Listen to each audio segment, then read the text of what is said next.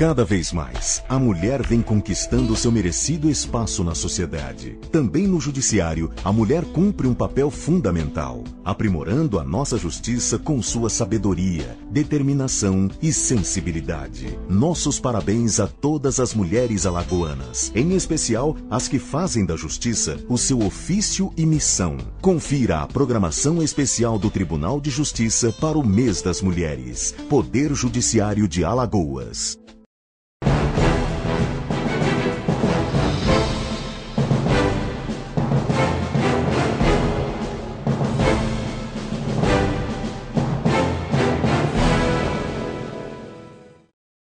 Coordenar as ações de um governo não é uma tarefa fácil. É um trabalho árduo.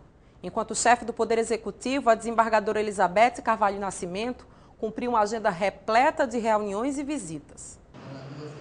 A primeira mulher a governar o estado de Alagoas marcou sua curta gestão no Poder Executivo com uma agenda voltada à participação popular e à cultura. A desembargadora Elizabeth Carvalho Nascimento esteve no exercício do cargo por cinco dias. Sua primeira iniciativa reuniu no Palácio República dos Palmares líderes femininas para debater políticas públicas voltadas às comunidades carentes e a participação das mulheres na política. Na entrega da comenda Nise da Silveira, dez mulheres foram homenageadas por suas contribuições sociais.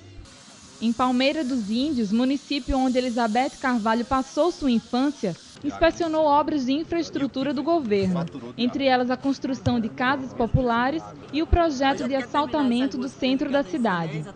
Líderes comunitários e empresários também estiveram no Palácio República dos Palmares para apresentar reivindicações e discutir soluções para problemas como acesso a eventos culturais, além de educação e segurança. Em seguida, representantes de instituições de ensino públicas e privadas foram convocadas a investirem em programações extracurriculares de fomento à cultura. A governadora em exercício ainda se reuniu com o diretor do Teatro Deodoro e com representantes da Secretaria de Defesa Social. A retransmissão do cargo ao vice-governador José Vanderlei Neto aconteceu em meio a homenagens e agradecimentos.